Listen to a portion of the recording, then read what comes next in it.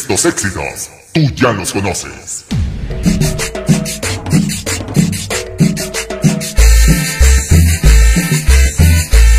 Y nuevamente, Marianito Records, en Aquilpa Guerrero, y todos galácticos,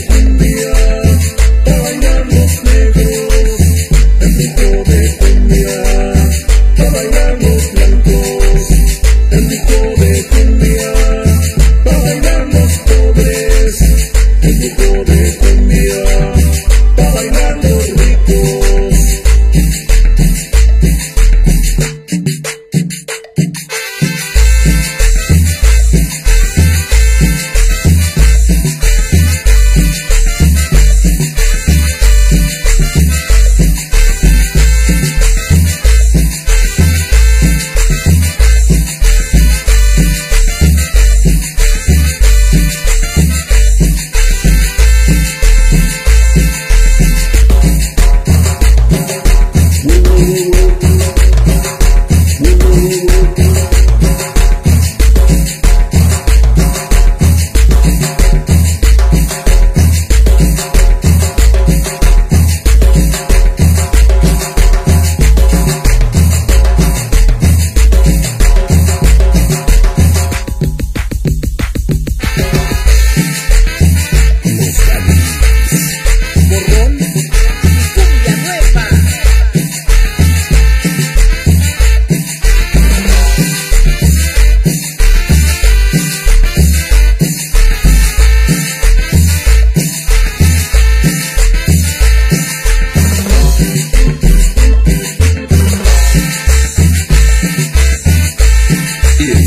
hasta Guadalupe del Recreo, Oaxaca, para mis amores, Yasmín Espinosa, mi hijo Jesús Guzmán, de Giovanni Guzmán.